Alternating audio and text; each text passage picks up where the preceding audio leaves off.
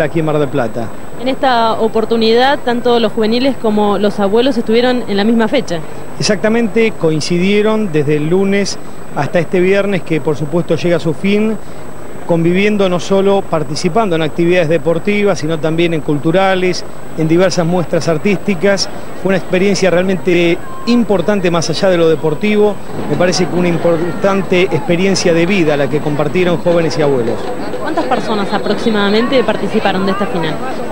18.000 es el número que nosotros manejamos sumando a los que arribaron al tramo final de los juveniles y por supuesto agregándole a los abuelos bonaerenses. Hay que recordar que casi un millón de bonaerenses arrancaron entre juveniles y abuelos participando en las etapas preliminares en cada uno de los 134 distritos que tiene la provincia, lo que demuestra el interés que por supuesto alcanzó esta etapa. ¿Cuáles fueron algunas al menos de las disciplinas que participaron en esta final aquí en la ciudad de Mar del Plata?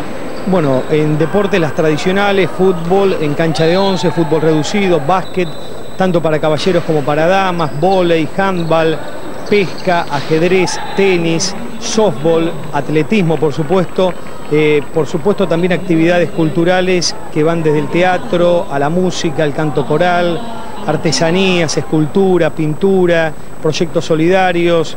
Eh, ha sido realmente un programa muy amplio y muy variado. Tanto los chicos como los abuelos, muchos de ellos no conocían siquiera el mar. Eso lo reflejamos a través del centro de prensa en algunas notas de tipo color, donde abuelos de casi 70, 80 años en algunos casos, se quedaban estasiados horas y horas frente al mar, bueno, observando por primera vez el mar de Mar del Plata. Para los jóvenes, que en gran número también del interior bonaerense no conocían el mar, fue una experiencia fantástica. ¿Cuáles son los premios? Bueno, en este caso la premiación ha sido justamente en el lugar de la competencia, con su clásica medalla, con su diploma pertinente, para cerrar lo que ha sido esta semana de, de sana competencia. Afortunadamente ya están confirmados los Juegos del 2003. Así parece, lo han confirmado recién en la conferencia de prensa, que van a tener continuidad eh, el año próximo.